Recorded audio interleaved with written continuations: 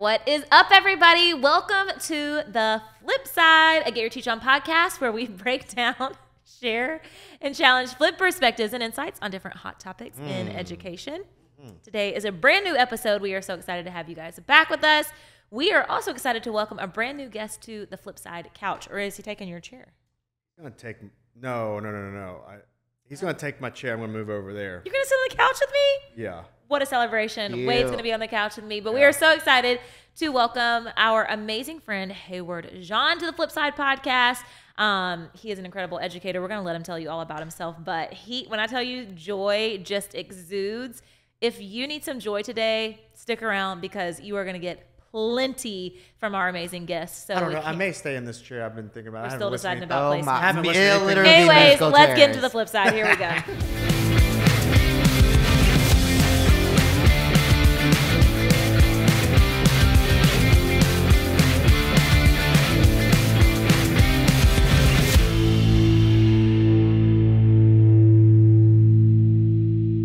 Wade, it is a big year for you. It is. Why?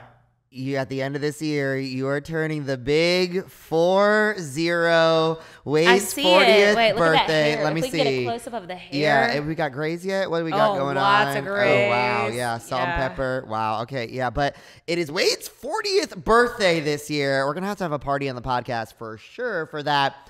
But you were born in the 80s. I was not born in the 80s, so I want to do a little 80s trivia. 80s with- With, the upcoming But we're really '90s kids. 90s Like, kids, we're but 90s 80s kids. baby. I mean, 80s baby. 80s Oh, baby. Were you born in 84. 84? 84. So I don't know if you can say you're a 90s kid. I- you're like I mean, it's a little 90s bit of both. teens maybe, but Okay, 84, let's keep going. buddy. Come on, come on, you let's go. you rounded Let's- down to the 80s, then up to 90s as we go. Okay, so first question here: um, What does VHS stand for? VHS. You guys know what that is, Video right? Video home system. Video video home. Wow! Yes, you got it. Yep. Video home system. I would never got that. Okay, next one. What was the most popular video game of the 80s? Super Mario Brothers. No, no, no, no, no, no. That wasn't even. Super Mario Brothers. Pac-Man. Okay, it is Super Mario Brothers. Oh, that's There one we and go. one, one and you one, got one it. one, Great one job one. there. Um, Everything's competition between us. Okay, here's another video game one. Did you play video games, Wade? Yeah. What was your uh, favorite gaming system? Well, in the Game in in the 80s, in the no, that wasn't around yet. In the 80s, Yeah. it would have been. So you you had Atari and you had the Nintendo system, which came out. I wasn't born. yet. Don't look at me. Definitely I don't know. Nintendo system. So when you go like this, yes, and you blow it up. I know that. I know that life actually. But that was also like My Super. cousins Nin- had but that it. was Super Nintendo, Sega. Those That things was were all in the over, 90s. yeah. it's- Okay, so these, I guess there's just a lot of um, video game ones. Here's this one. What 1981 video Well, game what, was the? oh, What was the wasn't question? You, you asked what my favorite was. Oh, no, You were, you were no, no. I was Oh, just, you're just genuinely curious? curious. Oh, Yeah, okay, I was just like you know trying to get my, to know my 40 year old friend. Sure. Yeah, yeah. Oh, Um, all right, next one. What 1981 video game was the first to tell a story during the game? The, which Oh. which Oh, year? oh, I know, I know. It has Zelda. The, uh, Zel- yes. It's not Zelda. The first to tell a story, What year? What year? What year? 1981. Oh, that's before I was born. Okay. Um. Pac-Man.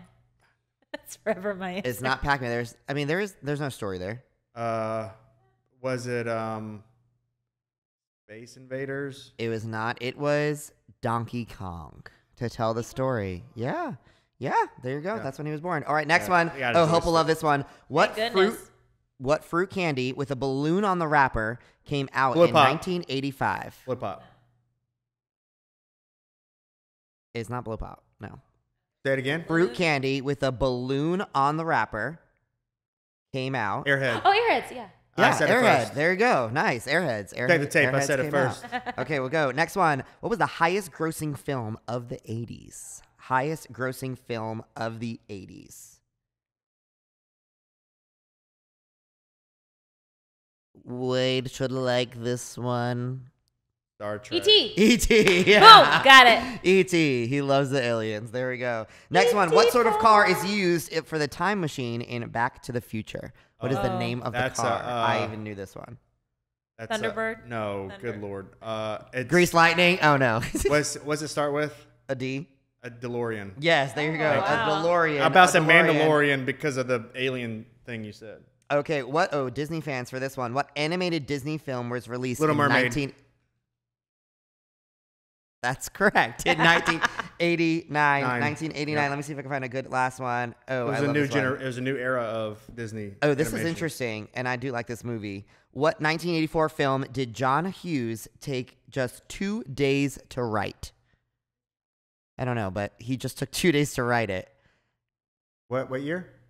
Uh, 1984. It is a cl- it's a classic. Top Gun. No, it's like uh Goonies. no, Oh, that's such a good one. It's more of a um Okay. think like Breakfast Club type movies. Breakfast at Tiffany's. No, Oh. you're close. It's it's in the same realm of that. Oh, he wrote it in just two days. I know Oh my give gosh. You a clue. And I But- said, what about Um, breakfast at Tiffany's? Okay, That's I really it. think I don't know. I don't know if it is this movie. I don't know. This is my 90s showing, but I think maybe there's the boombox at the window. I think they hold the boombox up to the girl's window. What is that movie? 16 Candles. Oh, yeah. Does that I've happen in that movie? It. Never seen it. I've never Oh, seen that movie. jeez.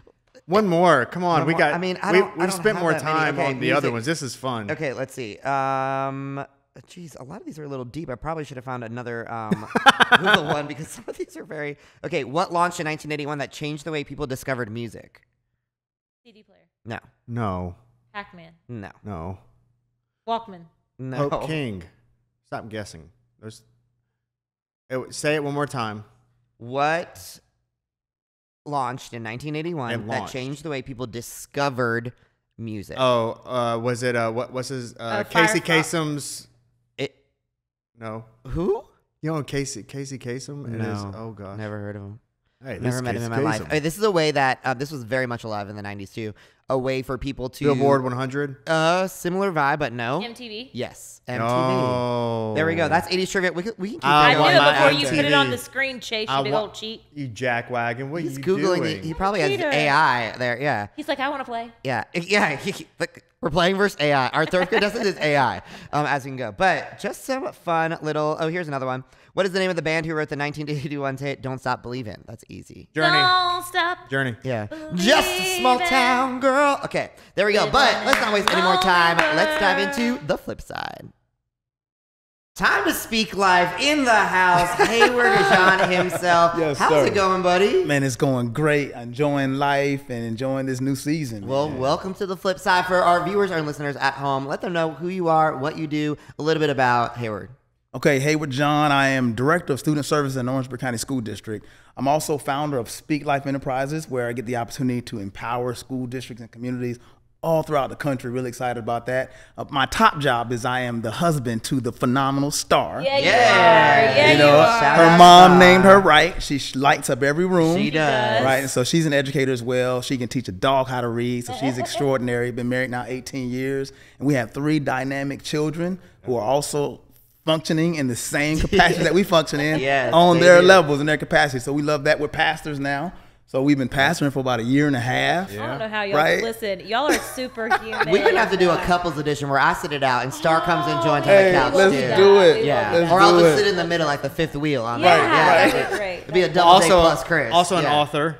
Yes, Yes. author. Yep, oh, Yeah. I'm author of a book called Weapons of Mass Distraction. So I'm really intentional about ensuring that our young people aren't being driven and diverted to places that's going to lead them to destruction. Yeah. And then we also, my wife and I co-authored a marriage prayer journal as well called The Power Chord Marriage. So if you can tell, we're all about building families, Yeah. and we believe schools is a powerful way to do that. So not busy at all is what you're saying. Oh, man, it's no, just like, no, yeah, looking just for something lots to do. Yeah, yeah, yeah. He's Bored. just twiddling Bored, for really, the next yeah. thing Listen, to, to Yeah. I'm looking for something Hayward, to you've do. served in a number of roles within schools man. and in your district. Talk a little bit about kind of your background within education, the roles that you've served from teacher to administrator to now your current level, Yeah. and kind of just your experience there. Man, I got a full scholarship at Mother University. My mother taught me about being a teacher. Uh, seriously. And then after that, I went to Claflin University. Wait, pause. You cannot just brush past that. Tell us more about that. So my mom is a single parent mom. Yeah. Um, my father wasn't in my life at all. My mother never made that an excuse for us. So what my mom did was she turned our house into a school. And how many siblings did you have?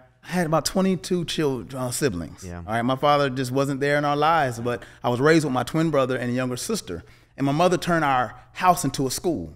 And she literally made every moment a teachable moment. She was intentional about ensuring that we would grow up to make life better for other people. So we watched her do that. She modeled that. She would uh, have after school programs uh, during the school year for kids who also didn't have um, people that were structures and their structured in their home. And so I then I was empowered to be an educator and didn't know it. It was a sneak attack, bro. Yeah. It was a sneak She attack. She did the I do, we do, you, You do. I- yeah, there man, listen, Yeah, you about exactly. my She mom was doing that created before it was heard of, Exactly. man. And so from there, I was. I was- inspired to become a teacher Yeah. through the Call Me Mister program. We got a scholarship to become an educator, uh, a program that recruits, trains, and certifies black males to be elementary school teachers and, and role models in the state of South Carolina because at the time they were less than 1%. We wanted to remedy that shortage. Yeah. And so from there, man, we were empowered to having what we call a co-curriculum, not just your normal. It pretty much is your get your teach on for those who want to be great. teachers. Yeah. And we went through that process SC to become. State? It was at Claflin University, yeah, you said uh, but also Right it, there, it, it is yeah, SC State sorry. as well. It is SC State as well, and multiple historically black colleges and universities um, throughout the country now. Yeah. And so that program inspired me. It lifted me into this place called education. So I've been teaching, taught for seven years. I was dean of students at an alternative school for six months, and then I was appointed to become a principal of Mellichamp Elementary That's School, right. and that's where we all started this little thing. And so Mellichamp, well, we always say you put the champ in Mellichamp, and there, man, I was I was able to really be involved in a lot of communities. We did we made a lot of history. We were the only school in the state of South Carolina, or one of eight, excuse me, in the state of South Carolina to go from an F rating to an A rating in one Yes, year sir. Yep. in one year because we were intentional about building from within. We didn't hire from that. We didn't hire. We didn't do a lot of programs. We just helped to build capacity in the people that were there. And talk more about that, that kind of community there, because that leads into our topic today, which is going to be all about it's back to school time for teachers. yeah. Everybody's heading back. Yeah. You know, that first day back of professional development, you Yeah. already know as a Come on, teacher, yes. it is starting with some sort of icebreaker, Say community it. thing, Say community it. building activity Right. that the administrator has probably thought about way too much for these 10 minutes. And Yep. teachers have mixed feelings in reality Wow, wow, about that, right? They're wow. walking in being like, okay, here we go. Yeah. Another icebreaker, Yep. all these things, whether Yep. it's new teachers, veteran teachers. So before we even get into the icebreakers Yeah. and back to school things like that, talk about that. Why that was a key important for you to build within and to build up that community instead of kind of bringing in new and mixing things up. Why was that a key factor? Powerful question. So we went through in our school a program detox, right? We just got rid of everything that was just all things. You know mm-hmm. what I'm saying? Just something that you can put say that you got it with these Title One funds, stuff like that. Where, We're just gonna just can get we stuff. make that a practice in all Yeah, schools? yeah, And so what we our motto was my motto at the time was build people more than buy programs. Yeah. Right? Because we didn't feel like buying programs was building the people. We don't think there's a replacement for a good person in front of those students. That's right. You can't That's right.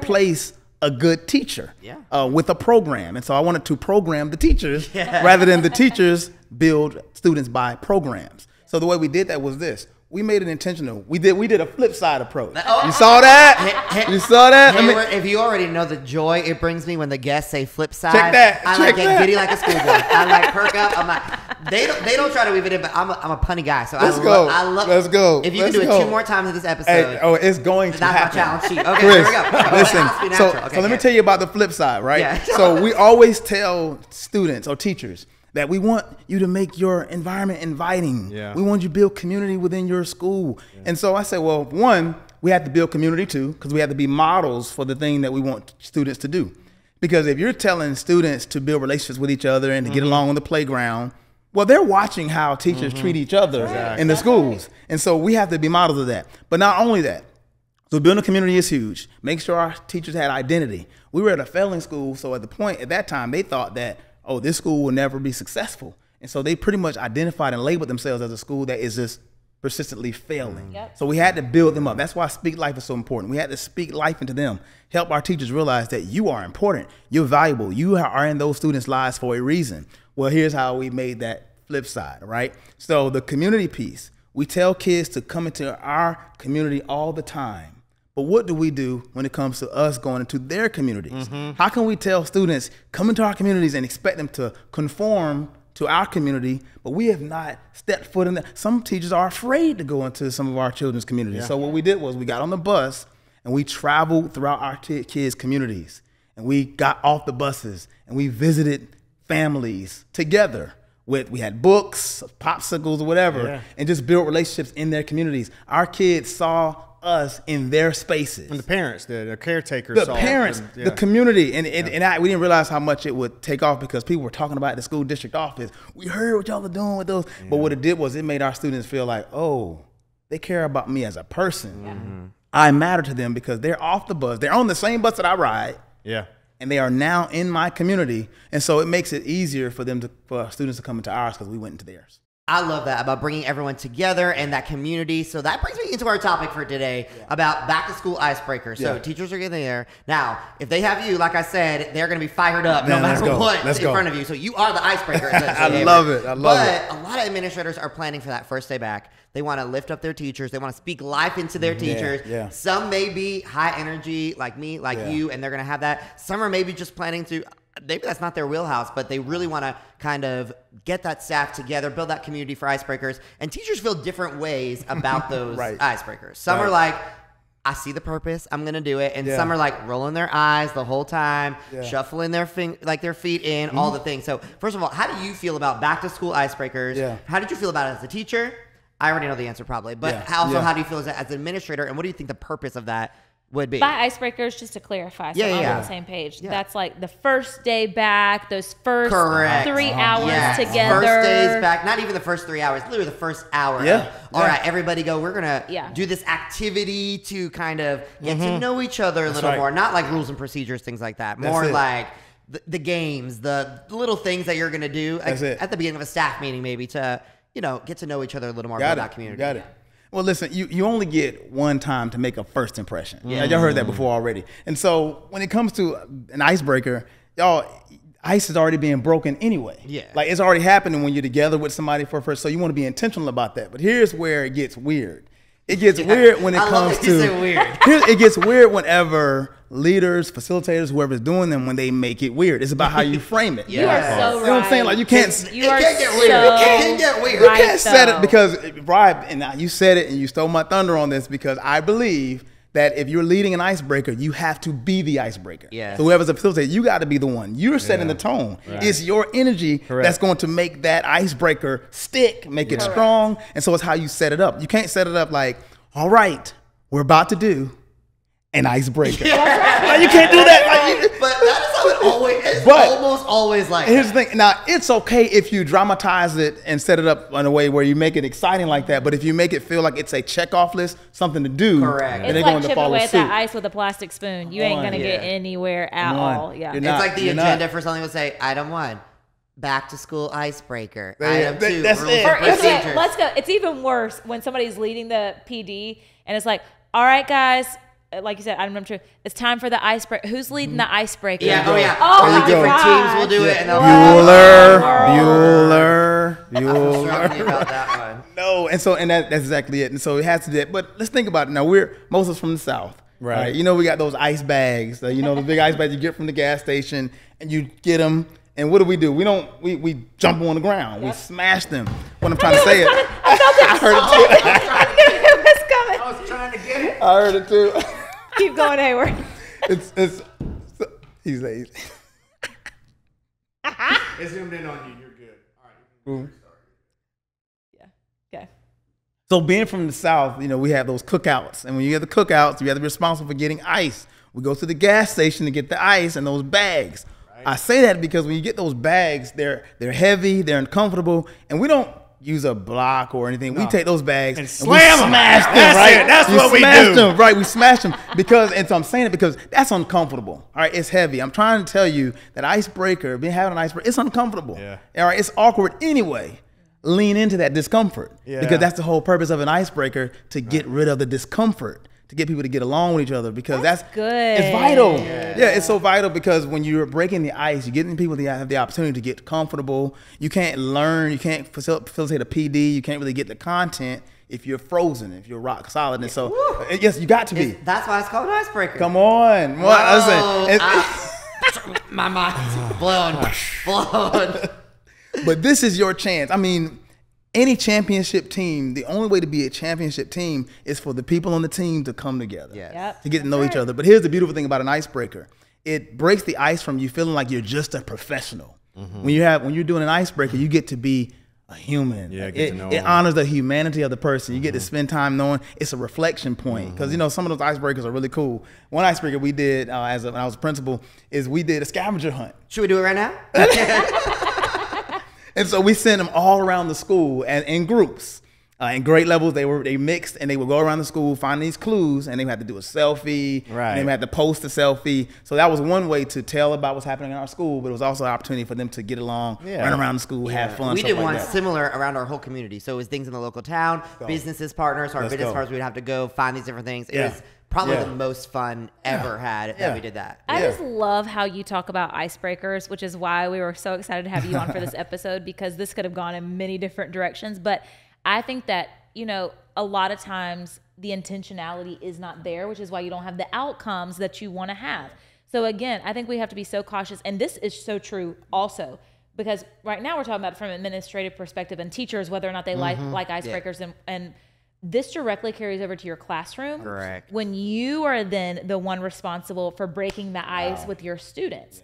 And so while this might sound like um, from a teacher's perspective, yeah, we don't want those icebreakers or whatever it may be, Right. eventually that ball is passed to you and now you're the leader you're the one responsible and so i just love how you brought the conversation to just the intention what the purpose of it is because Yeah. so many times in education we're doing things just to go through the motions versus having what is the purpose of my outcome and the way that you explain Yeah. that and what the purpose of it and what the use of it should be that makes me excited to That's so actually like good. do an icebreaker Yeah, That's so good. I'm whereas before up. i was like That's eh, good. i'm That's not right. really Fired I'm about to excited melt the ice. about There we go. There we go. Now, on the opposite, what would you say to teachers that they're like, okay, great. For Hayward, he's got the energy. I wish I was there, but my mm-hmm. icebreakers at my school. I walk in, we sit down, we got to do that two truths and a lie. Tell me your favorite part of the summer, whatever it might be, because their administrators are planning this day. They don't really have control over it. What Mm-hmm. advice would you have for them? They're walking in first day of school. This is now going to set the tone, essentially. Yeah, yeah. What if they are feeling, I could be doing a million other things in my classroom right now. I could be setting up. I could be doing this. too. I could be doing that. And yet I'm sitting here talking about Susie's family vacation with her. so the teacher mindset the teacher mindset. during the ice Correct. What would you say to those teachers that maybe are like, I could be setting up my classroom, open house is coming up. I don't Yeah. have time for this nonsense. We're gonna stay again. You sound somebody that's very frozen, Yeah. right? You need your ice broken, right? That- that- that's somebody who needs their ice broken. Check And so- yourself. you know? And so, but here's the so when I think about it, again, I'm not So it's trying a to be me problem, is what you're saying. it- yes, and so it, it is because the culture and climate is not just set by the principal. Now, of course, we facilitate or the leaders They facilitate that, but it's really carried by those who are working Yeah. with those oh, students. Oh, yeah. It was- it's carried by them. So you have the opportunity to actually be a leader without the title. And y'all know the best leaders are the leaders who don't have titles. Yeah. Are the people Yeah. who lead by example. Say that again. And so you are a model. So you're you're influential when you're when you're like that. So here's what I would encourage teachers in that because I believe that that teacher wants to pour into their students. I believe that teacher wants to be someone that grows students. Right? Tell me any water that can be that can water a plant as ice Right. It's got to melt. it has to melt.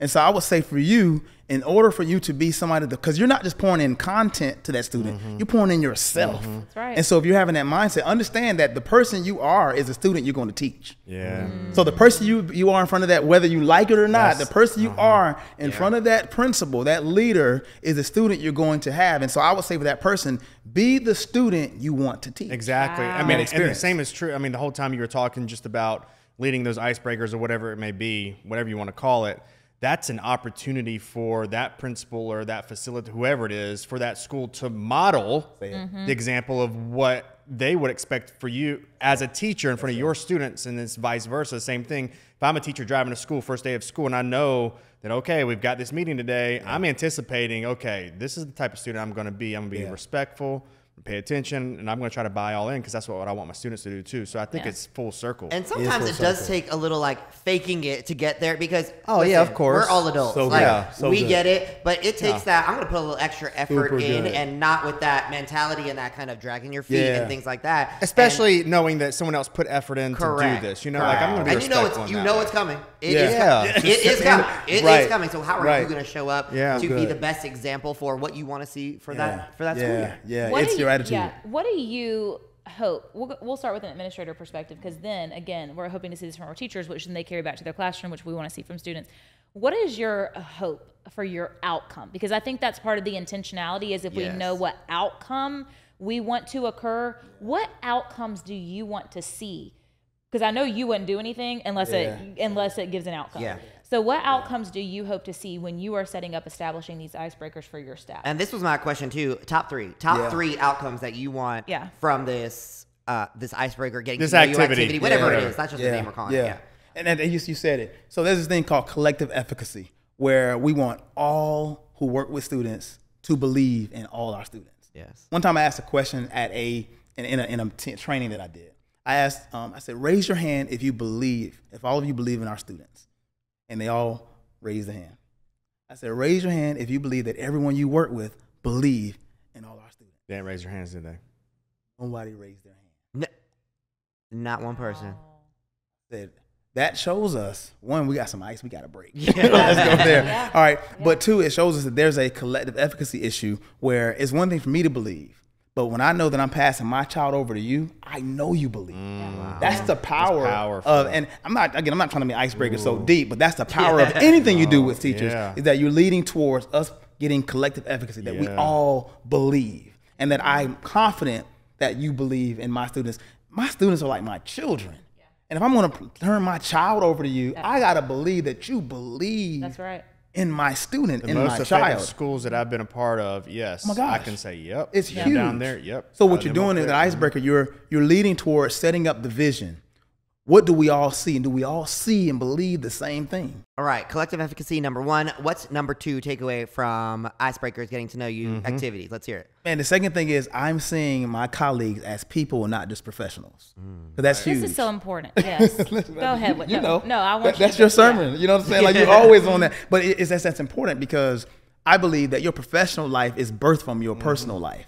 I believe you're no, you're not. A, Again, and I get it. You can be two people and, and do that for such a, but for, it won't last for so long. I believe that who you are, especially in this calling called prof- called mm-hmm. education, this educational calling is what is deeper than a, a job. Mm-hmm. Y'all say it all the time. You're more than an educator. So if I'm mm-hmm. more than an educator, I gotta honor your humanity. And so if I'm working with you, I gotta know you in order to work with you. If I gotta know my students in order to teach them better, I gotta know my colleagues in order to teach with you better. Yes. And so and I think a lot of times, huge. especially in education, we are so isolated to the first grade team, second grade team, kindergarten team. We did something at our school that Yeah. every staff meeting we can no longer sit by teams. We like Mm-hmm. that's not Good. happening. You need to mix up because if we're only associating with these five, six people, seven people that are on our team, we are never going to build that Yeah. community unless Yeah. we're outside and. It's tr- teachers are so clicky with on. either their friends or things that are happening there and what that looks like. So really ensuring that it is the whole staff there. And I love what you said. Personally, professionally, that's that's what we spend most of the time talking about. What are we going to teach? How are we going to teach it? What are the standards? What are we going to do here? When do we get to have that kind of connection Yeah. for seeing people as people and kind of knowing who they are really because i can be honest when i taught first grade i know very little about those fifth grade teachers especially as a new teacher in the building Yeah. i knew nothing about them until we did something That's outside of school an That's it. extracurricular had a sibling whatever Yeah. that connected us there so finding those connections is huge Yeah, it's important. Yeah, and I mean, I will say icebreakers aren't just for the beginning of the year. And I know you Correct, said, I- yes. I, don't, I hate to go so deep with icebreakers. No, that's just called having purpose. Yeah. Like that is just called having purpose for something. And if you don't have a purpose for something, why are we doing it? But even know, looking at the person, um, like one of the things that one of the schools that we worked at did was they had a bulletin board where the staff had celebrations that they could write a celebration, but it could be nothing academic, education, classroom related. It had to be about their personal life. So somebody might say, I ran a three mile race. Somebody might say, I finished six books this month. Somebody might say, um, I had a celebratory night with my family. Literally could be anything. But then the cool part about that is, as a staff member, I can go re- read those and I can say, "Oh my gosh, Chris finished a three mile race." I know how big that. Wow. I'm gonna go to him. that would be a big deal that would be a big deal but I'm gonna go to him, and as now a faculty member, I can say, "Chris, oh my gosh, I saw that you finished a three mile Yeah. race. That is so incredible. I'm so thank proud." you of so much Right? That builds those. I'm done with I want it to happen now. that for, builds for you. those Let's connect- go. One of these days, it's gonna be it's gonna be the Disney races. We're gonna get them in there. Um, I ain't but running that i'm taking my time getting my selfies with mickey and minnie if i'm doing a disney race but back to your point that's an icebreaker for conversations Yeah. good. that need to be had because so many times I will never forget this. Honestly, as long as I live, this was maybe my second or third year of teach teaching. But we had um, a teacher retire. Her name was Miss Guffey. And she was an incredible teacher in the building. Everybody adored her, looked up to her. Like she Second was like teacher. icon. she was like icon in the building. And so I'll never forget when she stood up and everybody was kind of like celebrating, you know, just her retirement. And she was thanking some of the people um, at the school for different things. She never looked at one person and said, thank you for teaching me how to teach this lesson or how to do this standard or how to she looked at this is how much i remember it she looked at another third grade teacher jamie few and she said thank you for being who you are because she said you meant more to me in this building than you would ever know mm. because she said every time you would come to me it was not anything about my classroom or what i need to do you would simply ask me about my family Yep. and I'm like, the power that that has and what she took from her career as a teacher, the things that she remembered most were not the people who gave her the copies or the lesson plans, or it was the people who made her feel Community, something. family. And who cared about her as a person. I- and that's and so was, yeah. Mm. I think that's such a simple thing that you can practice is have that celebration board somewhere and then be intentional about it as teachers Yeah, to yeah. go and Yeah. celebrate because that also brings the question or brings the concept to the forefront that teachers are more than teachers and that we need to celebrate them as people too. The more we celebrate them as people, the better teachers. It breaks down be, barriers you know? to like for the professional side. Yeah. Like it, it Yeah. opens up a whole new realm of possibilities Yeah. for um, helping people, but then also receiving help and humility and all these other things that we Yeah. talk about are difficult. So- Absolutely. Yeah. All right. We got number one and two. Number three, takeaway for. yeah, you just segue, literally segue into it because it adds life to the work. And so that, that's the third one is because it's important to enjoy your job. Yes. Right? Simon Sinek talks about this how a boss could be such a terrible boss that a person will love their job so much and hate their boss that they're willing to endure the job just because they love the job so much. Or somebody loves their boss so much they hate their job, but they're willing to endure the job because they love their boss. When can we get to a place where we love the job and we love our bosses? We love the job and we love people that we work with. Why is that important? Because I, for me, the reason why I was intentional about the leader that I was because, and the leader that I am is because I realized when I lead you, you're going home to your family.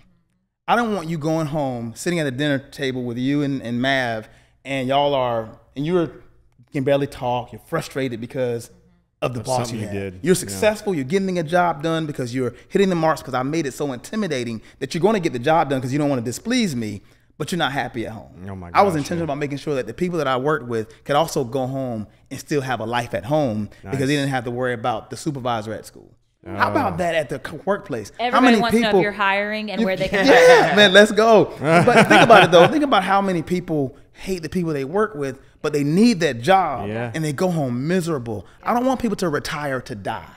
I want people to retire to live. Yeah, man. The way you do that is by building a community in such a way that we love each other. Mm-hmm. It's not about just loving students. It's about loving the people that we work with. So that's why those icebreakers are huge because it gives you the opportunity to build those relationships so that you can have quality relationships at work because we're spending more time with our colleagues than we are with our families. Oh man, you make me want to be a better Mm-hmm. person every day. Come on, Ted Lasso. Yeah, yeah. I think I think a lot of the listeners can relate to kind of just that mindset shift of when you walk into the icebreaker. Yes, you have a million other things Of that course, you need to do. everyone does. Oh, man. yes, everyone it does. is awkward, and I think Yeah. naming that was super key That's for good. me to be like, Yeah. Yeah, it is weird because we are grown adults. Mm-hmm. Yeah. I worked with you last June, yeah. and now we're back here. It's been three months, Karen. Like I know, like I, I don't really care that much about what, and I got a million other things to do. Like that's, the reality it. of it. That's I got it. things to do, and I'm trying to get to my classroom as fast as possible to set it up. Right. But I think going into the mindset of this is going to kind of chip away at those things to make the bigger impact Mm-hmm. is is huge. So you've changed my mindset. You've put me on the flip side. Let's know? go. Yeah, Let's there we go. There we go. Love it. But any last words Mission for this episode? This is not the last time you'll be on the um, Yeah. podcast for sure. Um, but any last words as these teachers are in the back to school season? Some have already been back. Some are about to go back, and what that looks like as they head back to school. And I really want to encourage them and speak life to them and letting them know that there, there's no coincidence. There's no accident that they're with the college that they're with and they have the students that they have. I know sometimes it seems like that principals played a practical joke on you by putting certain kids in your class. Like, yeah, they're trying to get rid of me this time. Nope. There's a reason why those individuals are in your classroom and the reason why you're on that hallway and you're in that school. Yep. And so you lean into experiences that's going to cause you to know more about the people you work with. Mm-hmm. Lean into the opportunities to grow so that you can be not just a better per- professional, but a better person. You are necessary. I want you to know that all you have is all you need. That's it. And so because of that, I don't want you to negate all that you have. I want you to lean into growing Mm-hmm. and making yourself a better educator so that you can make better students. Well, Wow. my cup is just overflowing over here.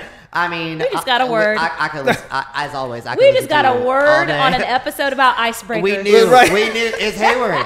We knew. Let's We knew what would Let's happen. go. We knew what would Let's happen. But seriously, Yes, we, we love you. The We conversation Yeah, I that we y'all, had. This will be the first of many, many conversations. Yes, sir. Enjoyed it. You're going to be invited right there in that same seat. Hey, I love so it. Let's get do your it. booty comfy Let's right do there. it. Let's Um, do it. Because truly, what you do for education and teachers and leaders is so impactful. So means a lot. we love you. If you are listening or watching, make sure you tune in every Monday for a brand new episode. You can watch it live and see Hayward here in the studio on YouTube, or you can listen on your favorite streaming platform. We That's hope right. you have the best week. But until then, we'll catch you on the, The flip, flip side. side. Bye, guys.